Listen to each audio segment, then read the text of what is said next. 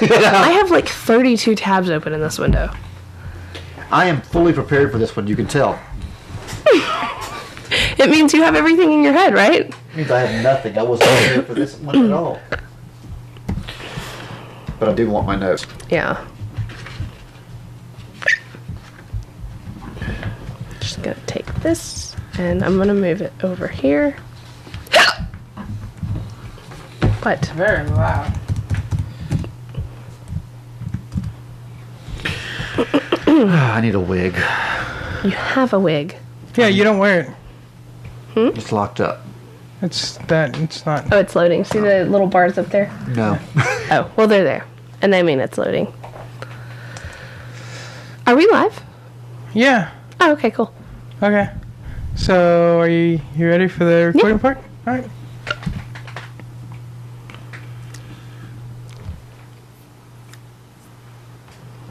Welcome to Hard Shots by Six Pack Philosophy with Mike and John. I'm Anastasia, and in this episode, we're discussing the tax exempt status of churches and whether or not it is a violation of the First Amendment. So, It's kind of a uh, sequel to our previous Oh yeah, it is. So um, on our main thread, Six Pack Philosophy, um, we were discussing uh, the separation of church and state, essentially, and we kind of left it with a cliffhanger, um, and decided that we were going to actually do a hard shot on tax exempt status of churches, um, because we felt like it probably warranted a little bit more time than we were going to be able to give it in that episode. So, um, if you want to backtrack, you can go ahead and save this episode in your podcast platform, and you can find, if you haven't already, Six Pack Philosophy, and you can actually listen to that episode and then come back and see kind of where we left off there and start here with this one. Or you can do the other way around. I'm not going to stop you. Whatever you like. Whatever you like. Exactly. So where are we going to start with this? Well, um, I guess we can start with kind of an explanation. So, um, churches, typically, though not all of them, um, are 501c3 tax exempt organizations. Uh, this means that they don't have to pay um, taxes that a corporation would normally have to pay, and that any donations to that corporate or to that church are tax deductible on the um, part of the donor. Um, now, the question here is that I wanted to take a look at is um, does the government, when they make the decision to allow an organization to be tax exempt or not, um, do they then violate the no preference clause of the First Amendment um, by basically picking and choosing which religions get to be tax exempt and which ones don't? Well, but do they pick and choose? How hard is it to become a 501c3? I mean, if if there's Christian religions and there's Jewish religions and there's Muslim religions and all, and and it's not something that's difficult to do, then I don't think they are violating a no preference. Well, you know, on that note, um, first of all, the organization they pick to choose what is and isn't a religion is highly unequipped to do so. It's the IRS. Yeah. IRS is highly inequipped to do anything. Well, you're right. As they acknowledge themselves. Yeah, yeah. And so, first of all, uh, you can argue that it's easy. It's really easy for certain groups. Scientology, and you can agree with them, disagree with them, and disagree with their methodologies here. But in order to get their tax exempt status, in order to not pay the billions of dollars in back taxes they owed, they got every one of their members to bring individual lawsuits against the IRS and their members until the IRS, in a in a closed room deal, finally said, "All right." can we make this all go away because there was like thousands of these things that had to go through the courts and all of a sudden the lawsuits and went away and they were declared tax exempt so it can be more difficult than than one might imagine Okay, interesting. So the characteristics to be um, that a an organization has to meet, although they don't have to meet all of these, they, they do have to meet most of them, and there are some that have specific um, preference over others.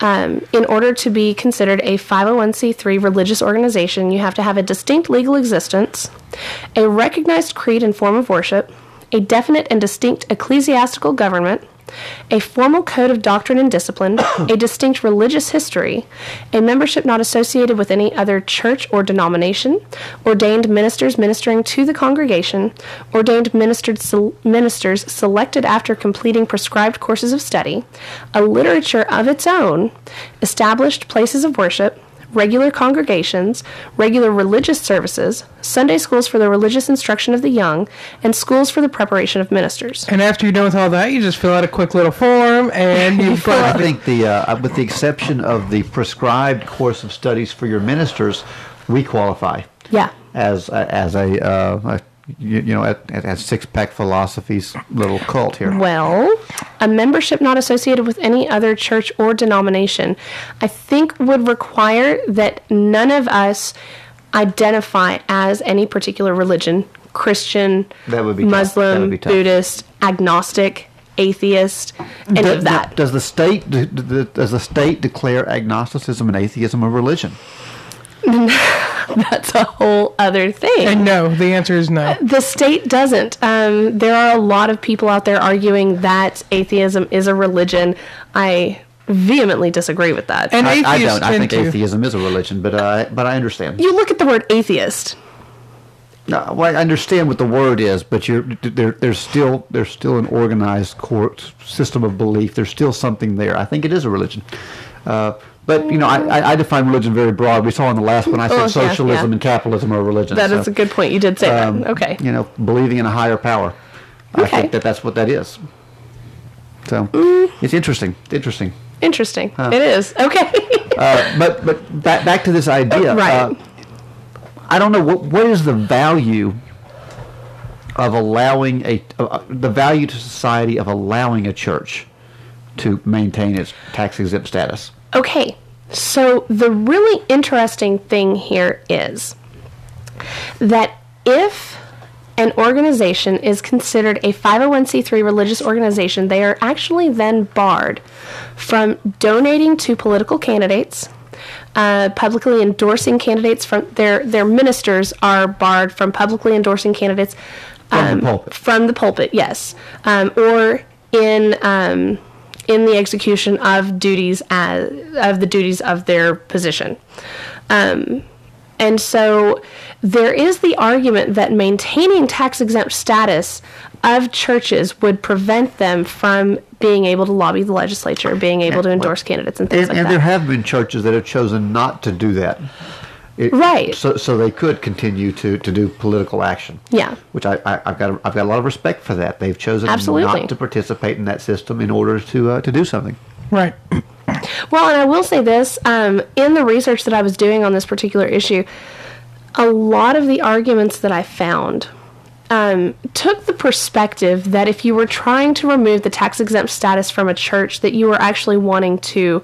Um, to kind of force the church out of existence. Drive their funding. It is Exactly. an attack. Yeah, that, that this was some kind of attack. I think a lot of times it is. I think for some, from some perspectives, for some people, it is.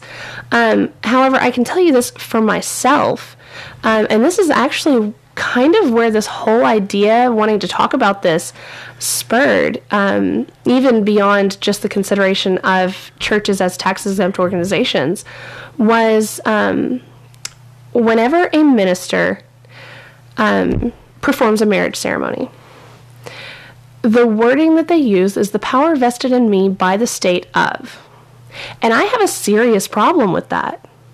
Um, Well, right now it is vested in them by the state. it is.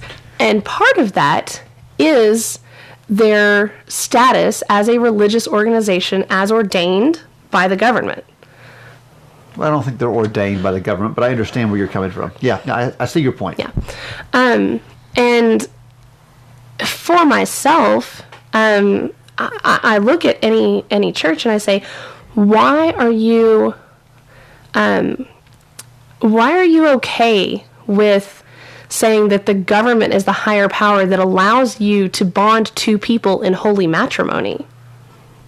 And I think there's a problem with that. If you believe that God is truly your higher power, the entity to which you are I- wholly responsible. I, I don't. I don't think that's that's what they're saying. I think what they're saying is the legal document has been approved by the state. I think that's all they're saying with that, and, and I think you read too much into it. Uh, when I first heard it, I was on your side already. I was, yeah, I, I'm with you.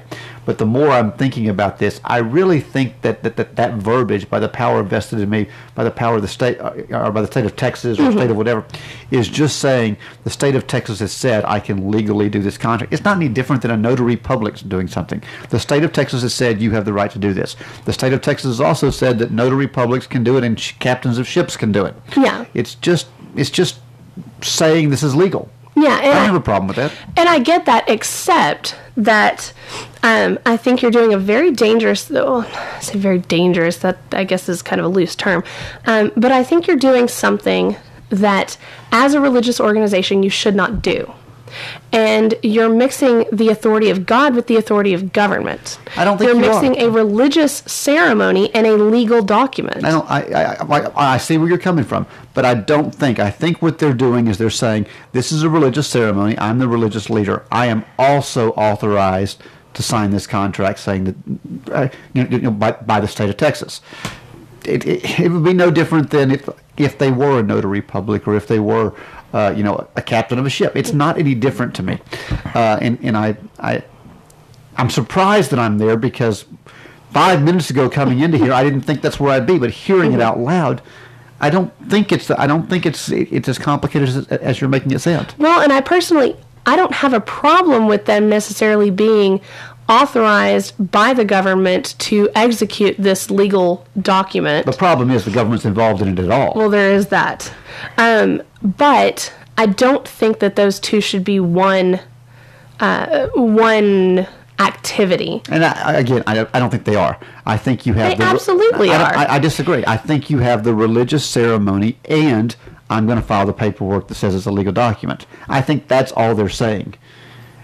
I'm still your religious leader. This is a religious ceremony, but when it's over, it's going to be legal. I'm going to sign this paper, and I'm going to turn it into the to the county. Well, and that's fine. Um, and I, I get what you're saying there. I do. Um, however, within the religious ceremony, they are acknowledging the that power is being given to them to bond two people in marriage by a government, not yeah. by their deity. I, I, I see that. I see the verbiage, and I, and I understand. I, I really do. To me, it's the equivalent of the guy that talks too fast in the, in the drug commercial on TV. this is what I'm saying. I, I, I've got to get this legal part out, but this is still a, a commercial. Well, I got to get this legal part out, but it's still a religious ceremony. Uh, and, and again, I'm surprised I'm there because I didn't think I was. I've always been right where you are, but hearing it out loud here, I just I, I'm seeing. I understand.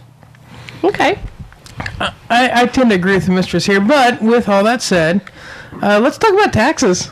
Okay. How about that? That's what we came here for, right? Oh, why why push the the envelope so far, right? right? Uh, here, here's my question: Do you have a problem? Just just just purely philosophically. Let's not go any deeper yet. Let's just go pure philos- philosophy. I thought the philosophy was pretty deep. Do you have a? Well, let's, let's not go I'm into legal joking, arguments. okay. The philosophy is probably deeper than legal arguments. Do you have a problem with churches being tax exempt for their religious purposes? Yes. I want everybody to be tax exempt. Well, okay, okay, but but I, well, the second part of that question is: Mm-hmm. Do you have a problem with charities being tax exempt? No. Okay, so so, so he, he, here's where I come down because because again I'm I'm I'm working my way through this as we mm-hmm. go through it. I do not have a problem with churches being tax exempt so long as that that money is being used for, for you know for charitable purposes and that money is not being used for political purposes. I do have a problem with churches being tax exempt and then uh, uh, preaching from or, or preaching politics from the pulpit because to me at that point you, you you've changed your job Right. if your church is raising money and your church is it, it is going to send people to uh, you, you know to, to go feed the poor people in South America or the Caribbean, you know what that should be tax exempt. Now the solution may be instead of the church being tax exempt, the church the church creating a separate charity that's tax exempt. That may be the way around it. Right. But as long as they're not mixing their politics, I don't have an issue with churches being tax exempt. I do have a problem with, with preaching from the pulpit, as we know happens all the time. I've seen it in my own churches. So you have a problem with them switching seamlessly from a message from the Bible, for example, to um, advocating for certain politicians, um, And, and that, that's another place where I've got an issue. I have a reaching problem. into the realm of government. I have a problem like with marriage. advocating for politicians. I don't have a problem with advocating for principles. If your religion says that you shouldn't, uh, you that that that abortion is wrong, your religion says that's wrong. I have no problem with you standing up and saying abortion Mm-hmm. is wrong. I have a problem with you standing up and saying vote vote against John Smith because he supports this. Because now you're you're you're, you're you've you've crossed that line in my mind. What about vote against Prop 9?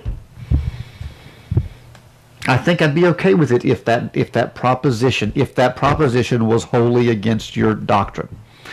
I don't I don't know. I'm trying. I'm still working my way through this Interesting. uh, because I, I, I again I'm, I'm finding myself in a place I didn't think I was going to find myself. To- but talking through this, I, I'm and, and trying to draw the comparison between these and and you know we just got through talking about freedom of religion and we've talked about freedom of speech and I'm looking at this and I'm going there's lots of lines crossing here yeah. and I don't know where that line is. So y'all help me out here because I, I, I, I need it. I need to talk about this to see where I am. So uh, you asked a question earlier, and your question was, "Do you have a problem with religions, religious organizations being exempt for their religion?" I said, "Yes." I have a problem with religious organizations being exempt by virtue of their religion. I have a problem with taxes, but that's a different podcast. Right. We're going to assume now that taxes are, are just are there, and we're, we're talking about exemptions. And I think you hit the nail on the head. I was actually planning on bringing this up if they want to, to do a charitable cause, I think they should have to go through the same paperwork that every other organization who does anything charitable or anything that, that is exempt has to go through, and For- and show where their money's being spent, show how they're they're they're going through that that purpose, what they're doing to be charitable. They can't say, "Well, I'm charitable," you know, because I can't do that. I can't do that as an individual. They have to go through the same process Okay, that every other charity does. But uh, I, I'm looking at this and going charities that, that, that raise this money. That money doesn't all go to the back to the charity. That money goes to pr- preserving the building. But they have to the account for it. Well, they, do, but so do the churches. Yeah, no, But it is a, the, and it is a lot harder to audit a church. It's very hard to audit a church, It's but it's happening. hard. It's happened a lot recently. And the other thing is that nearly every other charitable organization has to renew their status periodically. Yeah, yeah. Whereas if a church is granted 501c3 religious organization status, that is perpetual. Past the life of the founders, it it is in perpetuity. Period. That that's a problem. That's is. a problem, and, and I can accept that. I can So accept that. I think they have to go through the same thing every other organization has to go through. And I think if we did it that way, if the churches wanted to make their church a 501c3, that'd be fine, but I think it'd be dumb. I think the smart thing for them to do would be to do what you said and create a separate organization who does charity and then give a significant portion of their income to that charity and they can do good work and that is all exempt income. Now, if they want to say our whole organization is exempt, they have to report everything, Well, and and, and, they're barred in a lot of ways. That Yeah, yeah, but my my question comes down to this this idea: what is the difference if it, you know if my church is raising money to uh, and, and I, I may already know this, my church is raising money to feed the homeless somewhere. Why can't my church then write off their their their expenses for their building and write off the, the preacher that's preaching the stuff to, to to do that? Well, why why what's the difference here? so I mean they so they can to me they can do that if they wanted to keep their organization together. It's it's how they choose to structure their organization. But if they do that, the same restrictions that are on every other 501c3 apply to that church. I think the smarter thing to do would be to create a separate organization that feeds the homeless and then charge them for the use of the building, but then donate that money back and just make that tax exempt money. Yeah, yeah. It's I think that the same be- game that politicians play whenever they they they're raising money. Yeah. I think that would be the smarter thing to do. Now, if they want to do it the other way, eh, whatever. okay, okay. Now, here's a question. So, one of the things that I said earlier was that 501c3 religious organization status um, bars these organizations from lobbying, from uh, politicking at the pulpit, um, from funding campaigns, and all of that stuff. Should churches be barred from those activities? Should churches be barred from talking politics? Um, I, I, I don't know because I'm, I'm really struggling at, at the difference between freedom of speech and freedom of religion here. or freedom No. From religion. Uh, I, I, I don't think they should. I don't think they should, but but I'm looking at this other side of it, the tax side of it, and I'm going, well, you know, if it's subsidized by the people and you're and, and you're preaching against somebody, you're subsidizing something against. I, I don't know what the answer Well, is. and, and that's where I have an issue with the subsidy, not the talk. Mm-hmm. Now you could go the other way with it and say I don't have an issue with the subsidy. I have an issue with, with the way you're talking. Yeah. Uh, and and I could I could see that as philosophically consistent, but for me, the issue is with the uh, the subsidy. Yeah. And I, I think that that can be pointed to in the First Amendment. Well, Mm-hmm. you know, the, you know, e- e- even if you are a, a, a devout believer, uh, and, and again, I, I do consider myself a Christian, uh, render unto Caesar what is Caesar's. Exactly. Uh, you know, th- those are Jesus' words. Does Uh, that count just for individuals, or should it count for the church as well? Yeah, that, that, that's interesting. That's interesting to me. Uh, I, I find that I find that interesting. Um, I where I am, I think, is is, is kind of where I where, I was when I came into this. I and, and, and talking my way through this is uh, you know the church itself may not uh, should should be should be tax exempt. But uh, but the churches should be free to, to, to create other uh, other charitable organizations. I think that makes sense. So uh, I, I'm not sure I heard you right. Did you say the tax the churches should or should not? No, should ta- not. The should churches should okay. be paying taxes on what they what they get. Render unto Caesar.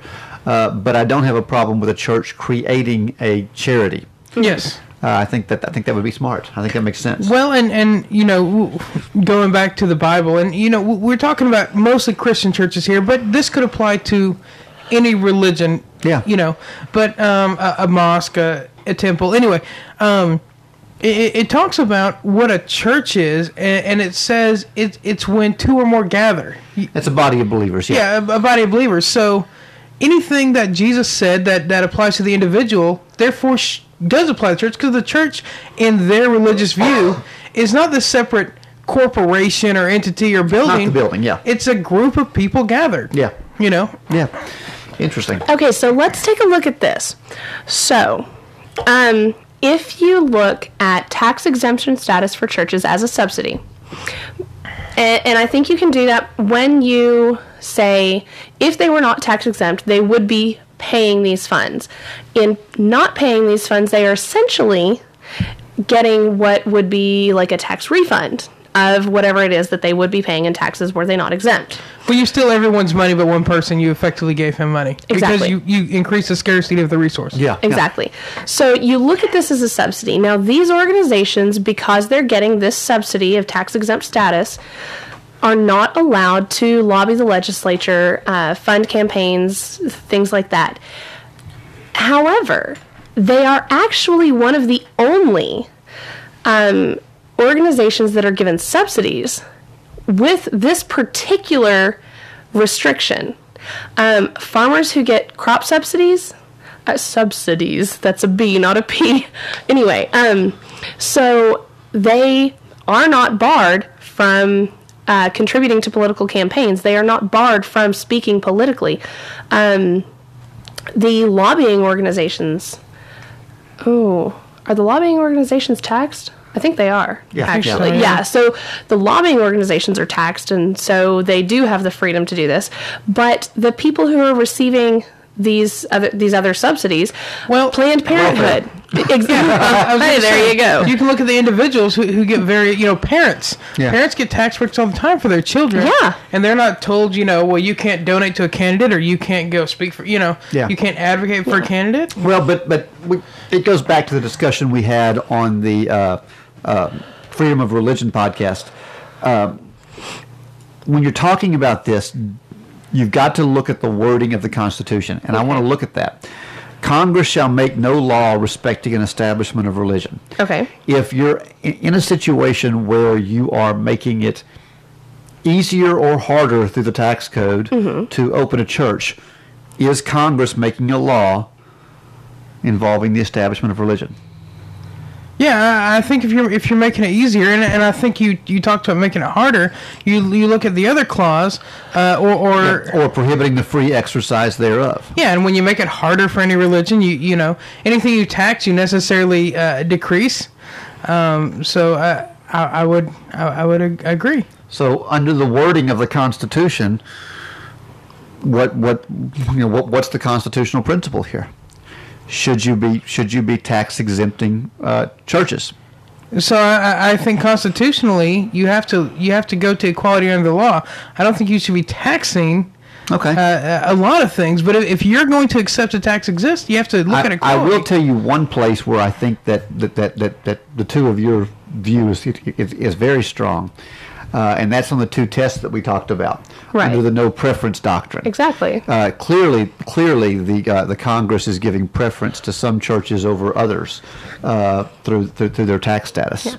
Well, you know, um, you look at various different um, denominations of Christianity, and um, looking at some of the history of um, when the organiz- or when the religion was founded and when it was recognized by the state, it, it appeared that um, they didn't have a whole lot of trouble, or at least it didn't take a long time to get through this system. Um, and then you look at religions like Scientology. You look at uh, what is it? The Church of the Flying Spaghetti Monster. That's pretty cool. that's headquartered in Las Vegas, Nevada. Um, It, by the it way. is headquartered in Vegas, and um, that one actually has been around for a really, I, I say a really long time. It's been around for longer than Yeah, I thought it yeah. was, and was only actually recently acknowledged by the government. It's been acknowledged by the government, by the way. um, you can get ordained as a minister um, to perform. I, I believe I believe Penn Jillette was recently ordained in that, uh, Oh. which I found hilarious. one of our friends has actually been ordained as a, Yeah. a minister under the Church of the Flying Spaghetti Monster. Yeah. Um, and so I, I think you can illustrate through that um, that certain They're clearly showing a churches, preference. they absolutely are showing a preference. All right, I, I want to run through the three tests that we talked about in the, the freedom of religion uh, Mm-hmm. uh, and, and see how it falls. Because I think this, just looking at this, I think this cleared my whole mind up. Okay. Oh, okay. Uh, these are the three tests that were outlined in the, in the Supreme Court case Lemon versus Kurtzman. Okay. Mm-hmm. So we're talking about the idea of should should churches have tax exempt status. And three precedents have been used again. Yeah, yeah, and through precedents, which I'm not crazy about, but but but let, let, let's let's put it to the Supreme Court's test. Okay. Because I want to see what, what I think the Supreme Court, if they logically follow their own arguments, what, what mm-hmm. would they say? Number one, is there a secular a secular legislative purpose for it? Is there a secular legislative purpose for for, the giving, for granting tax exempt status to churches? I don't No. think so. No, no, clearly It doesn't not. pass. So it, it hasn't passed on the first one.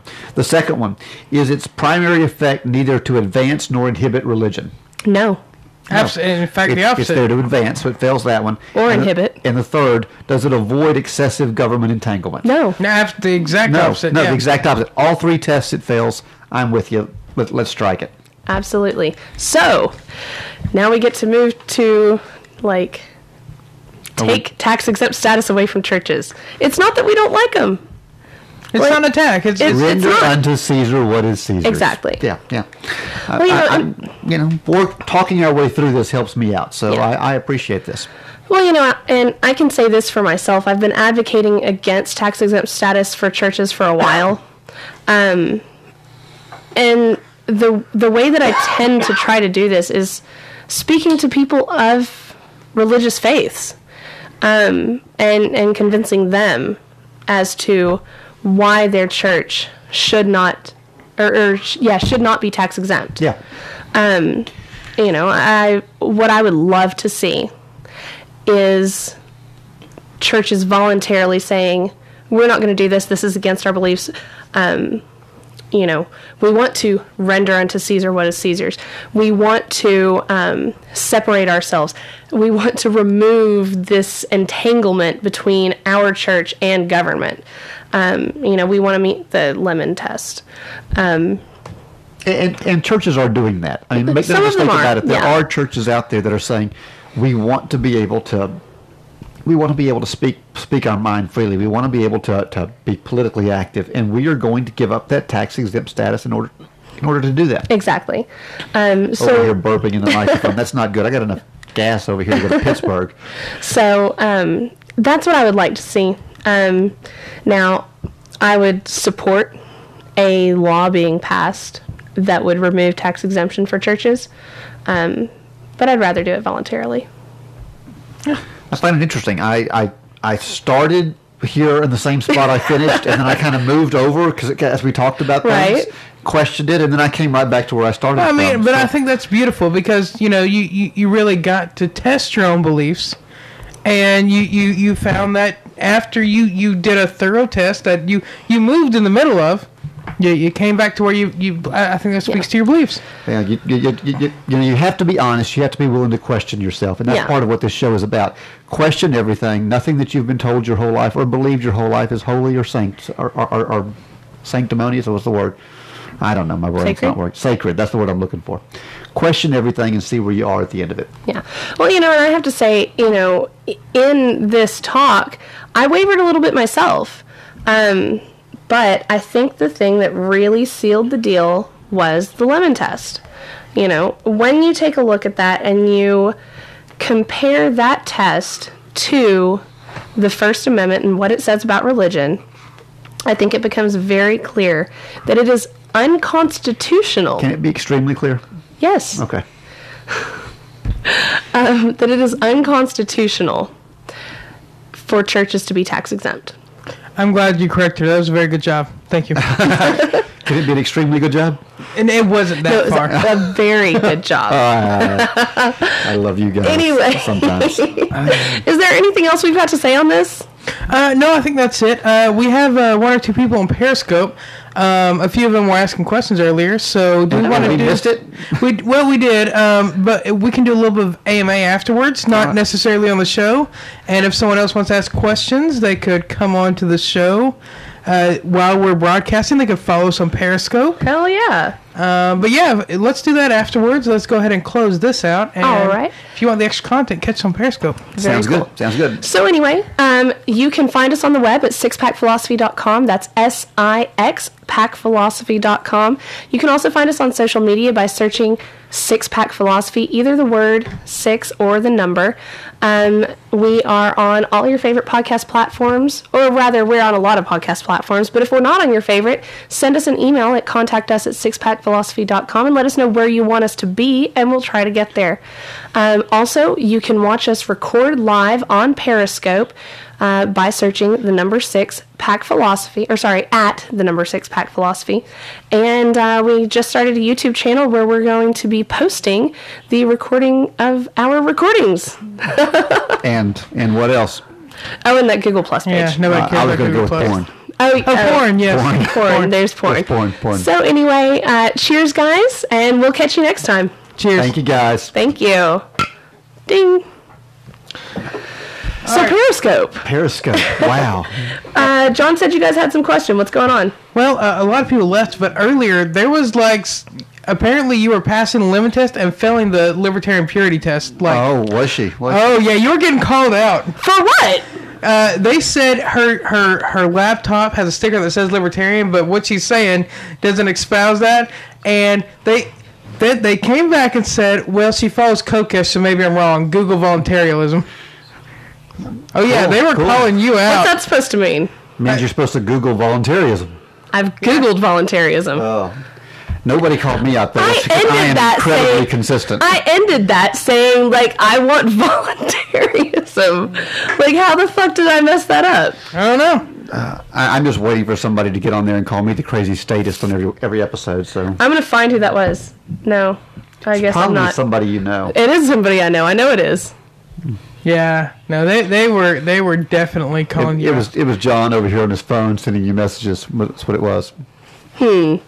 Well, it looks like everyone's left. Do y'all want to hang around on this? And uh, nah, nah, let's get really. out of here. Alright.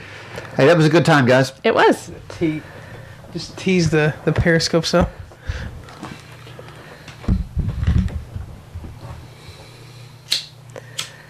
Yeah. Who the fuck was that? Oh. You can't look They didn't say anything about me. I mean, I was just talking about you. Oh, Lord. I only drank one of those IPAs. I didn't even drink one